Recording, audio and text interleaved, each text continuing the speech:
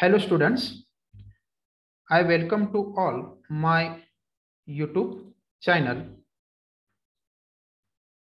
My name is Mr. Kedar Deshmukh, Srimati Minalben Mehta College, Pazgani.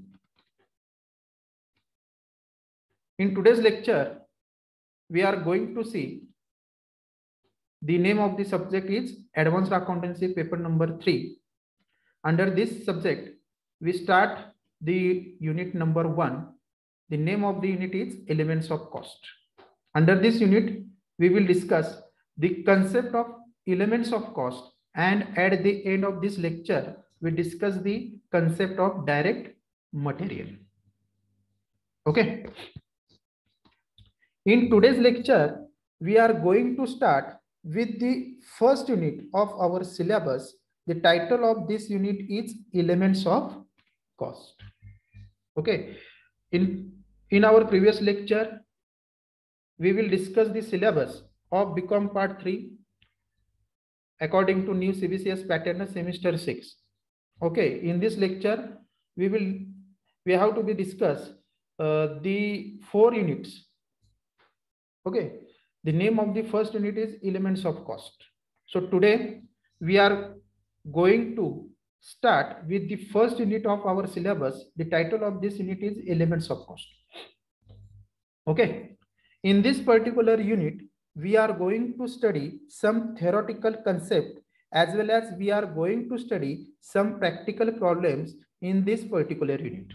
या युनिटच्या या युनिटमध्ये आपण काही थिअरॉटिकल पार्ट डिस्कस करणार आहोत त्याच पद्धतीने at the end of this lecture आपण काही प्रॅक्टिकल प्रॉब्लेम सुद्धा त्या ठिकाणी काय करणार आहोत डिस्कस करणार आहोत okay under this unit we will study the concept like elements of cost then we will study the concept of direct material then we will study the concept of direct labour then we will discuss the concept of direct expenses.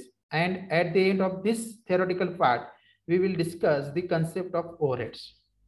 Okay. And after that, the practical part that is preparation of cost sheet, estimated cost sheet and quotation also discuss. Okay. It is a practical part. And as per our discussion in the first lecture, that is, it is a practical unit. So a practical problem of 16 mark is asked on this particular unit. This is the syllabus of unit number one या टॉपिकमध्ये आपण काही theoretical part त्याच पद्धतीने काही practical problem सुद्धा आपण discuss करणार आहोत. आणि या युनिटवरती सिक्स्टीन मार्काचा जो प्रॉब्लेम आहे तो तुम्हाला परीक्षेला युनिव्हर्सिटीच्या एक्झाममध्ये विचारण्याची दाट शक्यता आहे.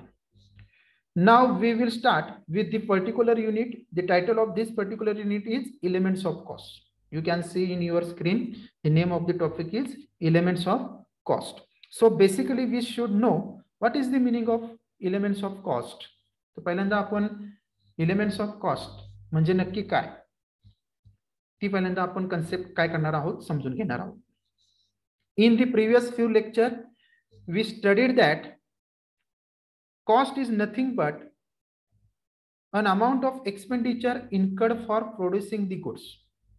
Okay मागच्या लेक्चरला मी तुम्हाला सिलेबस डिस्कस करत असताना सांगितलं सांगितलं होतं की cost is nothing but an amount of expenditure incurred for producing the goods वस्तूचं उत्पादन करण्यासाठी जो खर्च येतो त्या खर्चालाच आपण काय म्हणतो? Cost okay for doing the different activities of the business in the previous few lecture we studied that some companies are engaged in production of goods okay? Some companies are engaged in doing different types of contract.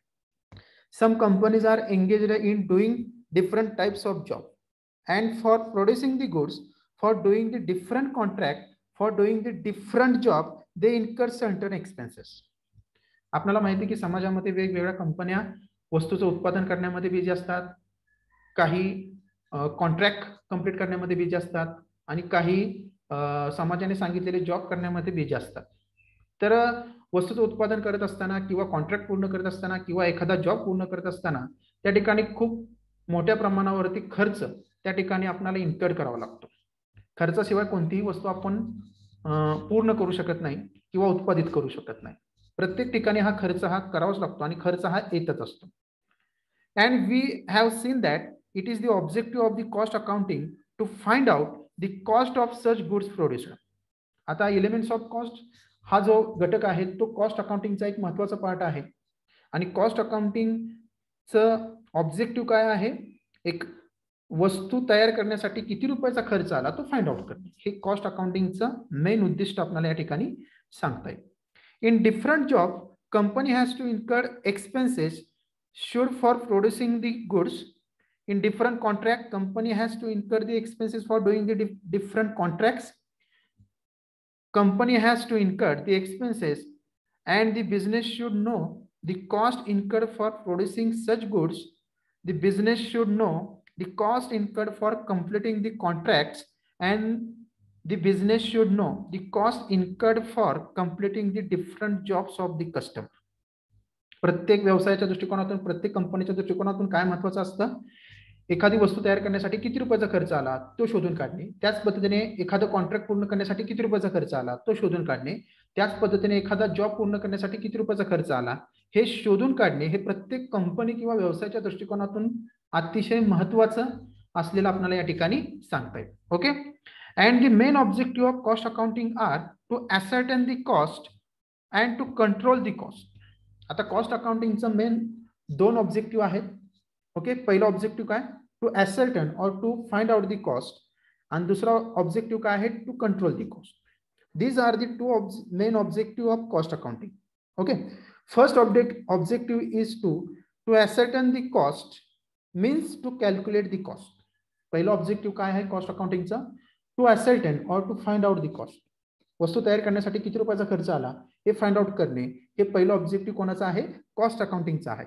Okay to calculate the cost of goods produced under of different contracts undertaken and activities undertaken okay the second objective is to control the cost means to minimize the cost आता दुसरं जे objective आहे cost अकाउंटिंगचं ते म्हणजे कोणतं to control the cost यालाच आपण म्हणू शकतो दुसऱ्या भाषेमध्ये टू मिनिमाइज दी कॉस्ट कोणत्याही व्यवसायाचा किंवा कोणत्याही कंपनीचा वस्तूचं उत्पादन करण्यामागे मूळ हेतू कोणता असतो? जास्तीत जास्त प्रॉफिट किंवा नफा कमावणे. ओके आता आपल्याला जर किंवा एखाद्या व्यवसायाला किंवा एखाद्या कंपनीला जर जास्तीत जास्त नफा किंवा प्रॉफिट कमवायचा असेल तर वस्तू तयार करण्यासाठी जो काही खर्च त्या ठिकाणी येत असतो तो खर्च कमीत कमी कसा येईल? या बाबीकडे पहिल्यांदा बिझनेसला आणि कंपनीला लक्ष द्यावे लागते. कारण जितका खर्च कमी वस्तू तयार करण्यासाठी तितका जास्त प्रॉफिट आपण त्या ठिकाणी काय करू शकतो? प्राप्त करू शकतो. Okay we know that each and every business is set up for earning maximum amount of profit correct so in order to earn maximum amount of profit the business has to minimize the business has to control its expenses and it is the objective of cost accounting to minimize the expenses of the business बरोबर cost अकाउंटिंगचा objective main काय आहे दुसरा objective आपण बघतो की दुसरा objective काय टू कंट्रोल दी कॉस्ट यालाच आपण म्हणतो to minimize the cost Okay? प्रत्येक बिझनेसचा मूळ हेतू काय असतो? जास्तीत जास्त नफा कमवणे. आणि जास्तीत जास्त नफा कमवणे हे मूळ उद्दिष्ट डोळ्यासमोर ठेवून त्या ठिकाणी बिझनेस काय करत असतं? कार्य करत असतं. परंतु जास्तीत जास्त नफा कमवायचा असेल तर आपणाला वस्तू तयार करण्यासाठी जो खर्च येतो तो खर्च आपल्याला काय करावा लागतो? कमीत कमी कसा येईल? या बाबीकडे आपल्याला पहिल्यांदा लक्ष द्यावं लागतं. आणि कमीत कमी खर्च आला वस्तू तयार करण्यासाठी आणि ती वस्तू आपण मार्केटमध्ये जास्त किमतीला विकून जास्त प्रॉफिट त्या ठिकाणी आपण कमवू शकतो. Okay? So that a business can earn maximum amount of profit त्याच्यामुळे बिझनेसला त्या ठिकाणी खूप मोठ्या प्रमाणावरती प्रॉफिट त्या ठिकाणी कमवता येऊ शकतो. The expenditure of the business are classified under certain broad heading okay the meaning of elements of cost is nothing but the broad heading under which the total expenses of the business are classified for analysis purpose okay तर elements of cost concept आपण बघतोय. बरोबर? तर elements of cost म्हणजे नक्की काय? The cost is nothing but the broad heading under which the total expenses of the business are classified for analysis purpose एखाद्या broad हेडिंगच्या अंडर जे खर्च आपण दाखवतो ते खर्च आपण क्लासिफाय करून त्याचं काय करत असतो आपण? अनालिसिस करत असतो. यालाच आपण एलिमेंट्स ऑफ कॉस्ट असं म्हणतो. Meaning of elements of cost is elements of cost is nothing but the broad heading under which the total expenditure of the business is analyzed. It is called as a elements of cost.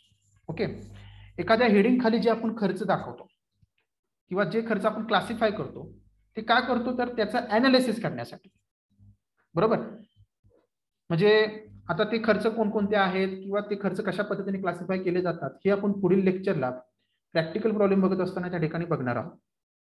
परंतु जे broad headings आहेत त्या broad हेडिंगच्या under जे काही खर्च आपण classify करतो आणि हे आणि हे खर्च का क्लासिफाय करतो? तर अनालिसिस करण्यासाठी त्याचं विश्लेषण करण्यासाठी. Okay this is the introductory part of elements of cost next we will discuss the meaning of elements of cost in very short okay the basic objective of cost accounting is to ascertain or to find out the cost and control the cost. मी आत्ताच तुम्हाला सांगितलं की cost accounting some basic objective काय आहेत? दोन objective आहेत. पहिलं objective काय? To find out or to ascertain the cost आणि दुसरं ऑब्जेक्टिव्ह काय आहे? To to control the cost or to minimize the cost एखादी वस्तू तयार करण्यासाठी किती रुपयाचा खर्च आला? हे फाइंड आउट करणे हे पहिलं ऑब्जेक्टिव्ह कोणाचं आहे? कॉस्ट अकाउंटिंगचं. दुसरं ऑब्जेक्टिव्ह काय आहे? To control the cost to control the cost म्हणजे काय? टू मिनिमाइज दी कॉस्ट प्रत्येक व्यवसायाचा किंवा प्रत्येक बिझनेसचा हेतू काय असतो? जास्तीत जास्त नफा किंवा जास्तीत जास्त प्रॉफिट कमवणे. आणि हा प्रॉफिट कमवायचा असेल तर प्रत्येक व्यवसायाला किंवा प्रत्येक कंपनीला वस्तू तयार करत असताना कमीत कमी खर्च कसा येईल? या गोष्टीकडे लक्ष द्यावे लागते. आणि ज्यावेळी वस्तू तयार करत असताना कमीत कमी खर्च येईल त्याच वेळी बिझनेस किंवा कंपनी मार्केटमध्ये जास्तीत जास्त त्या ठिकाणी प्रॉफिट कमवू शकते. Okay next we see the concept of elements of cost मी आत्ताच डिस्कस केलं की एलिमेंट्स ऑफ कॉस्ट म्हणजे नक्की काय. तर आपण बघूया the broad heading under which the total expenditure are analyse हेडिंगच्या under जे टोटल खर्च आपण दाखवतो ते खर्च क्लासिफाय करून त्याचं अनालिसिस करण्यासाठी बरोबर? त्याचं विश्लेषण करण्यासाठी आपण हेडिंग खाली वेगवेगळ्या स्वरूपाचे खर्च त्या ठिकाणी दाखवतो. हे जे खर्च आपण हेडिंग खाली वेगवेगळ्या पद्धतीने दाखवतो त्यालाच आपण एलिमेंट्स ऑफ कॉस्ट असे म्हणतो. Okay next there are four heads or elements of cost. Okay. आता इफ फोर हेडिंग कोणते आहेत? ते आता आपण बघणार आहोत. बरोबर मी आत्ताच सांगितलं एलिमेंट्स ऑफ कॉस्टचं मिनिंग काय? तर elements of cost is nothing but the broad heading हेडिंगच्या under जे खर्च आपण किंवा जे टोटल एक्सपेंडिचर आपण क्लासिफाय करतो त्यालाच आपण इलेमेंट्स ऑफ कॉस्ट असं म्हणतो. ओके आता हे चार हेडिंग कोणकोणते आहेत ते आपण बघूया. There are four heads of elements of cost first is direct material second one is direct labour third one is direct expenses and last is overheads these are the four heads of elements of cost okay now let's start the concept of direct material first we will discuss the concept of direct material okay direct material also called as a production material direct material ला आपण दुसरा शब्द कोणता आहे production material असं सुद्धा आपण त्या ठिकाणी म्हणतो नाव question arise is that what is the meaning of direct material तर आपल्याला प्रश्न आता पडला असेल की डायरेक्ट मटेरियलचं मिनिंग नक्की काय आहे? In this particular point we will discuss the concept of direct material okay या पॉइंटच्या अंडर आपण काय बघणार आहोत आता? The concept of direct material its feature त्याच्यानंतर आपण त्याची वैशिष्ट्ये बघणार आहोत. And what are its various example आणि शेवटी आपण डायरेक्ट मटेरियलचे काही एक्झाम्पल आपण काय करणार आहोत? डिस्कस करणार आहोत. आणि या एक्झाम्पल वरून तुम्हाला डायरेक्ट मटेरियल म्हणजे नक्की काय आणि प्रोडक्शन मटेरियल म्हणजे नक्की काय याचा अर्थ समजायला सोपं जाईल first we will start with the meaning of direct material what is direct material direct material means a material which is used for the purpose of manufacturing the goods okay direct material म्हणजे नक्की काय? वस्तूचं उत्पादन करण्यासाठी जे material आपण वापरतो त्यालाच आपण डायरेक्ट मटेरियल असे म्हणतो.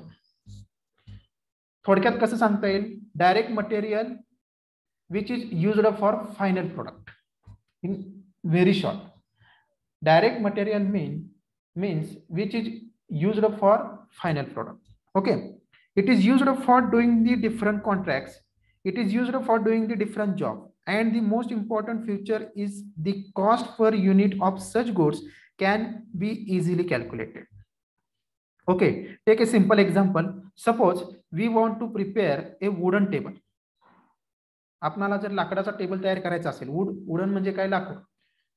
Okay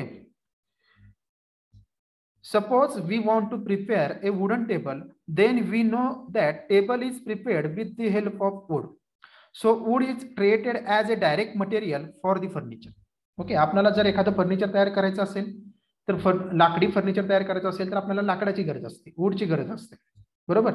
आणि या वूडच्या माध्यमातून किंवा वूडची मदत घेऊन आपण फर्निचर तयार करतो बरोबर? म्हणजे हे जे वूड आहे हे जे लाकूड आहे यालाच आपण काय म्हणणार आहोत? डायरेक्ट मटेरियल मी तुम्हाला आत्ता सांगितलं की कोणतीही वस्तू पक्की तयार करत असताना आपल्याला सुरुवातीला कशाची गरज असते? रॉ मटेरियलची हे रॉ मटेरियल म्हणजेच काय? डायरेक्ट मटेरियल या डायरेक्ट मटेरियलच्या असेल तरच आपण वस्तूचं उत्पादन करू शकतो. अन्यथा आपल्याला कोणत्याही प्रकारे उत्पादन करता येत नाही. त्याच्यामुळे आता पहिलं एक्झाम्पल आपण काय बघितलं? की फर्निचरचं जर आपल्याला उत्पादन करायचं असेल तर फर्निचर तयार करण्यासाठी आपल्याला कशाची गरज असते? लाकडाची. वूडची गरज असते. या लाकडालाच आपण काय म्हणतो? Direct material second example is that suppose we want to purchase any dress the dress we know that dress is made up with the help of cloth समजा आपल्याला एखादा ड्रेस जर खरेदी करायचा असेल ओके? एखादा ड्रेस जर तयार करायचा असेल तर आपल्याला कशाची गरज असते? क्लॉथची गरज असते. क्लॉथ म्हणजे काय? कापड. कापडाच्या माध्यमातून किंवा कापडाची मदत घेऊन आपण ड्रेस तयार करतो. मग हे जे कापड आहे हे जे क्लॉथ आहे यालाच आपण काय म्हणतो? Direct material. Any building we know that building is constructed with the help of bricks and cement. Bricks and cement. So the bricks and cement is is the direct material. Okay? कोणतीही building आपल्याला जर construct करायची असेल बरोबर? किंवा उभारायची असेल तर आपल्याला ब्रिक्स आणि सिमेंटची गरज असते. ब्रिक्स अँड सिमेंट म्हणजे काय? विटा किंवा वाळू किंवा सिमेंट याची आपल्याला गरज असते. विटा वाळू सिमेंटच्या माध्यमातून आपण काय करतो? बिल्डिंग कन्स्ट्रक्ट करतो किंवा बिल्डिंग उभी करतो. मग या ज्या विटा वाळू सिमेंट आहे यालाच आपण म्हणायचं काय? Direct material this is the concept of direct material with the help of example now let see the meaning of direct material that is production material okay material which can be conveniently identified with material which can be conveniently identified with and can be directly allocated to a particular product job etc okay कोणतीही वस्तू तयार करत असताना किंवा कोणताही job तयार करत असताना बरोबर? डायरेक्ट मटेरियल हा एक वस्तूचा भाग म्हणून ओळखला जातो. कारण डायरेक्ट मटेरियलच्या माध्यमातूनच आपण प्रोडक्ट तयार करू शकतो एखादा जॉब कंप्लीट करू शकतो. Okay the per unit cost of such material is significant and can be easily calculated आता एखादी वस्तू तयार करण्यासाठी किती रुपयाचा खर्च आला? हे आपण सुद्धा या माध्यमातून काय करू शकतो? फाइंड आउट करू शकतो.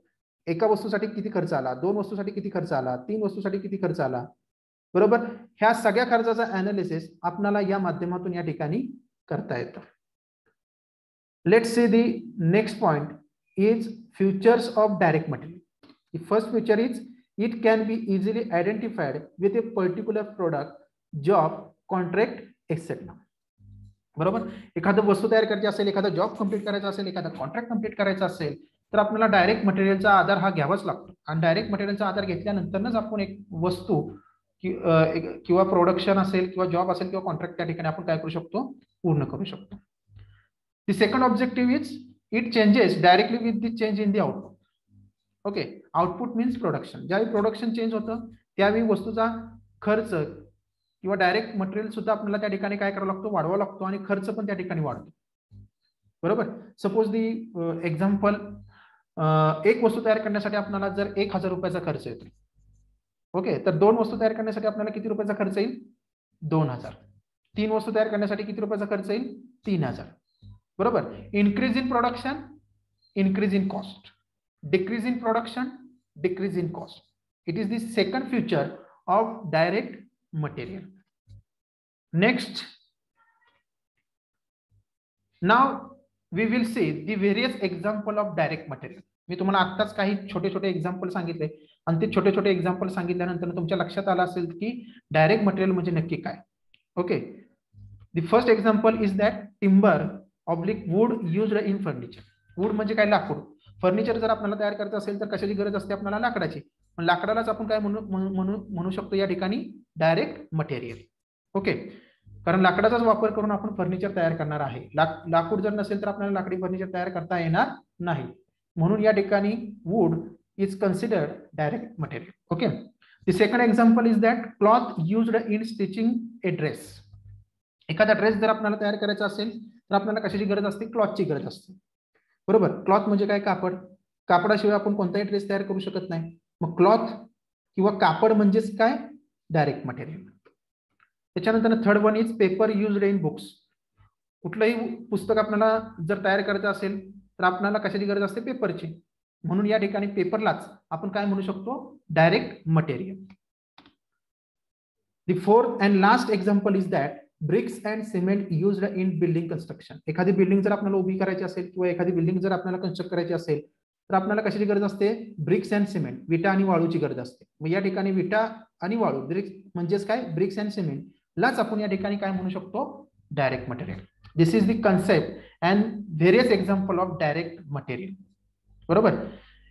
तर डायरेक्ट मटेरियल शॉर्टमध्ये आपण काय सांगू शकतो? Direct material which is used for producing the final product अगदी शॉर्टमध्ये फायनल प्रोडक्ट तयार करण्यासाठी ज्या मटेरियलची आपल्याला गरज असते त्यालाच आपण काय म्हणतो? डायरेक्ट मटेरियल या एक्झाम्पल वरून तुम्हाला कन्सेप्ट या ठिकाणी डायरेक्ट मटेरियलची समजली असेल जर तुम्हाला काही शंका कुशंका असतील तर तुम्ही मला विचारू शकता. In next lecture we will discuss the concept of direct labour आताच मी तुम्हाला डिस्कस केलं होतं. There are the total expenses of the total cost of the business is basically classified into four categories. Four categories मी तुम्हाला आत्ताच मागच्या काही मिनिटांमध्ये एक्सप्लेन केल्या होत्या. Direct material direct labour direct expenses आणि लास्ट ओव्हरहेड त्यातली जी पहिली कन्सेप्ट आहे डायरेक्ट मटेरियल ही कन्सेप्ट आपण या ठिकाणी या लेक्चरमध्ये डिस्कस केलेली आहे. पुढच्या लेक्चरमध्ये आपण दुसरी कन्सेप्ट डिस्कस करणार आहोत. ती म्हणजे काय? डायरेक्ट लेबर तर दोन कन्सेप्ट आपण आजच्या लेक्चरमध्ये डिस्कस केल्या. एलिमेंट्स ऑफ कॉस्ट थोडक्यात पुन्हा एकदा सांगतो. Elements of cost is nothing but the broad heading under which the total expenditure of the business is analyse आता ब्रॉड हेडिंग आता ज्यावेळी प्रॅक्टिकल पार्ट आपण चालू होईल त्यावेळी तुम्हाला ब्रॉड हेडिंग समजणार आहे. त्या हेडिंगच्या खाली जे जे काही खर्च आपण क्लासिफाय करतो त्यालाच आपण काय म्हणतो? एलिमेंट्स ऑफ कॉस्ट एखाद्या ब्रॉड हेडिंगच्या अंडर जे खर्च आपण क्लासिफाय करतो त्यालाच आपण म्हणतो इलिमेंट्स ऑफ कॉस्ट ज्यावेळी प्रॅक्टिकल प्रॉब्लेम आपला चालू होईल त्यावेळी तुमच्या लक्षात येईल की नक्की ते खर्च कोणते आहेत आणि कशा पद्धतीने हेडिंग खाली ते खर्च क्लासिफाय केले जातात. ओके तर ही झाली concept of elements of cost आणि concept of direct material okay thank you for watching thank you